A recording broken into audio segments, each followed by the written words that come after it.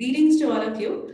As a citizen and a lawyer, today I will be sharing about my ideas of power of law with you. But before that, I must tell you that as a child, I used to play several games and all those games had certain sets of rules. At that point of time, I could not realize as to who made those rules. But the only thing I understood was that all players are supposed to follow the rules to win the game. My curious mind keeps on thinking as to what may happen if one break those rules and lose the game. Why winning is important? What if all the players win together? Why the society puts too much pressure on competition and not on cooperation? Are in this game focusing on obedience to rules rather than teaching a child to question her surroundings? As I grew up, I realized that rules are everyday realities in the life and that we all are surrounded by the laws. Beginning from birth, when one requires a birth certificate to obtaining a passport or even a house, everything is being regulated by the state. Law decides at what age a person may marry or could vote.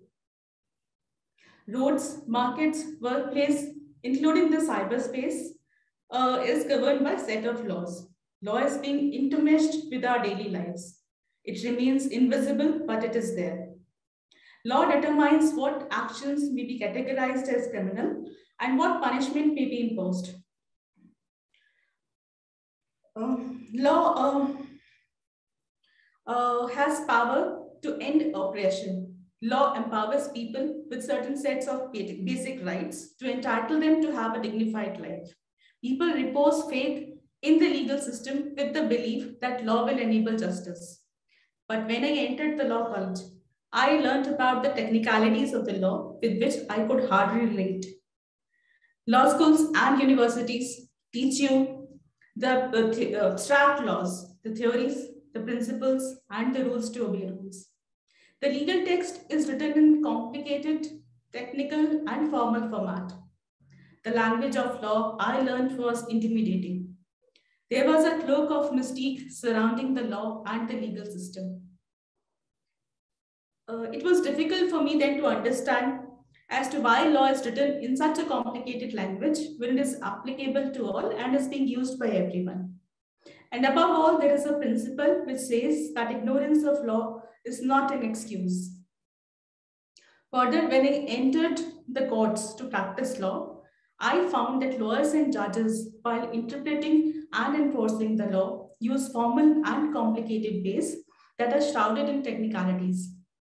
Hence, the system operates in a way that it becomes a threat for a common person. Instead of making justice a reality for everyone, the legal machinery consisting of police and other agencies use threat and fear and have made law difficult for an ordinary person. The way the system works, it is seen as coercive and repressive as it takes humanity out in the process. Though the United Nations Sustainable Development Goal 16.3 commits all member states to ensure equal access to justice for all. In practice, these promises are not being enforced. Studies recognize that the global justice gap exists. Globally, more than 5 billion people, or two-thirds of the population, are deprived of justice for their immediate problems as well as for their severe needs. The question, therefore, is that why the governments are not spending resources on legal literacy or strengthening the system to make it people friendly? Is it because once people are aware, they will question the authorities and will demand accountability from the state? Or perhaps the ignore, ignorance of law prevails because our leaders have failed to see law as a public good. Or maybe law has been monopolized by the few privileged and the powerful when it is impacting the lives of all. In fact, today, law is merely being reduced to an idea of winning a case rather than thinking of law as a tool to achieve the dream of justice for all. Moreover, the legal system does not exist in vacuum. It mirrors the biases that exist in society. The way the system operates, it reinforces discrimination rather than addressing the structural inequities. Feminist says that law is patriarchal and use the male reasoning. Scholars have demonstrated that law is a subversive site. Others says that law is being weaponized by the authoritarian states to stifle dissent. There are gaps between the law as it exists on paper and the way it is being implemented on the ground, which I am calling as operational gaps. Yet, despite of all the problems, law is a site of resistance to translate justice into reality and to demand rights.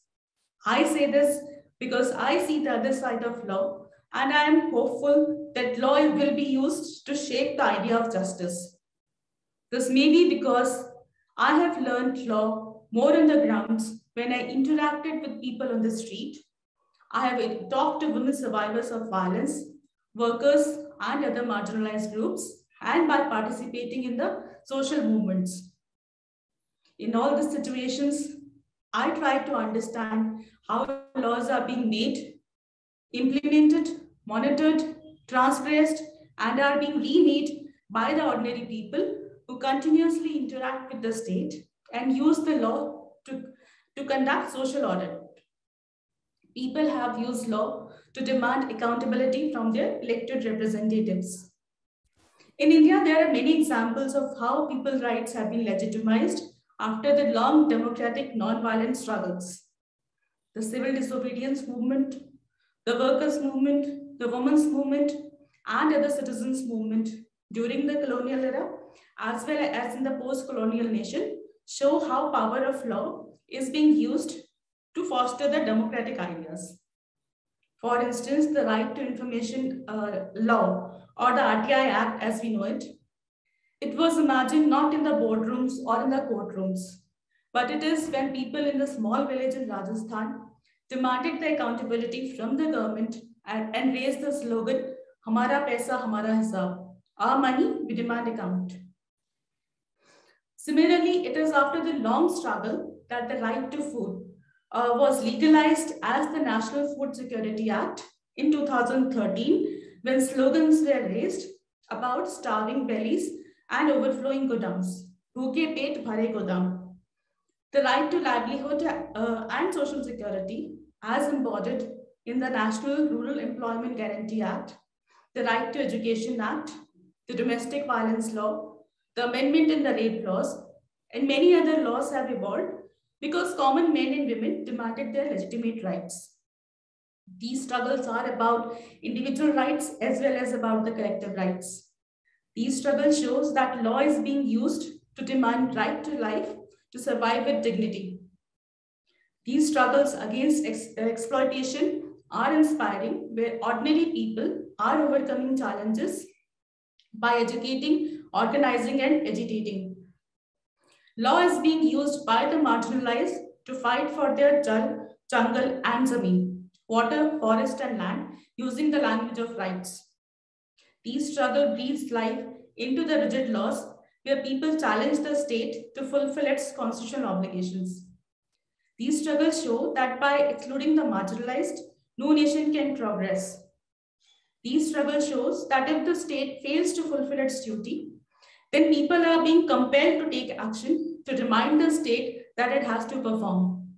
These struggles taught me the real meaning of, the word like democracy, equality, social justice, and liberty as enshrined in the preamble of the Constitution of India.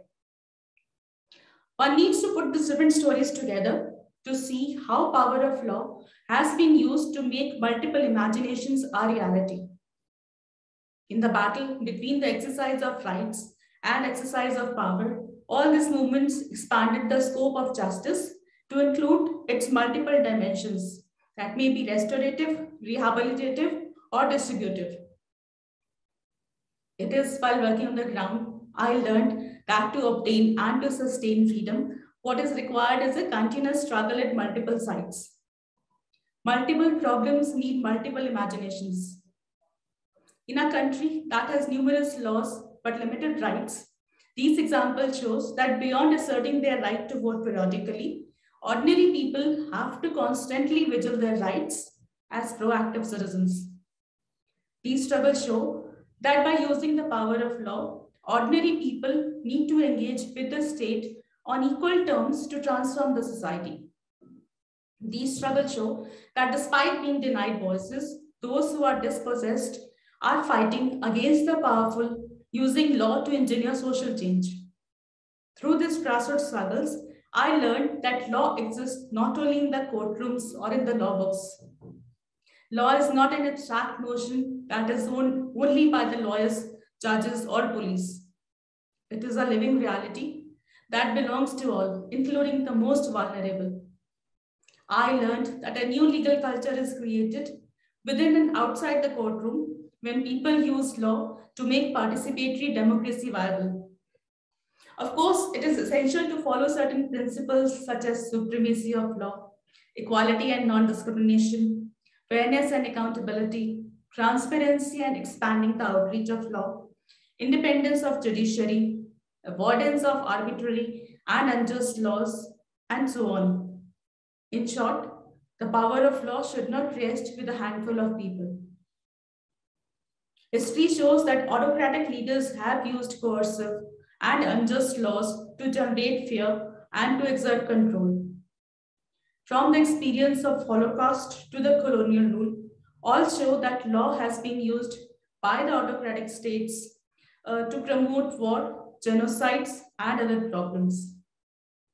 Yet, at the same time, the civil disobedience movements and the democratic social movements all over have been started by the common people, asking the lawmakers and enforcers to behave responsibly. Therefore, the relationship between uh, the law, the state, and the citizen is fraught with contradiction. I learned that power of law needs to be checked so that those who make or enforce the law should not become more powerful than the law itself. Coming back to the question I have been thinking since my childhood, when I compared the rules of game children play to the complex legal system, I find that society focuses too much on competition and the state authorities wanted us to think of law in a unidimensional ways when we can imagine law in multiple and diverse ways. This operational gap can be reduced when the society together initiates a dialogue on law, rights, and justice among all sections of society in a simple language. Once people realize the power of law, reclaim it, and takes its ownership to use it responsibly, law may not only deliver justice, but it may transform the society. So the idea is to demand a system which is right-based, simple, inclusive, and where everyone could participate to shape the law. The idea is to take law from the courtrooms to the communities to make justice a priority. We all need to uh, use the power of law creatively to imagine the right to justice for all through the revolution, consisting not of arms, but through the revolution of ideas, using law in compassionate and practical ways to create a better, just, and a fairer world. Thank you.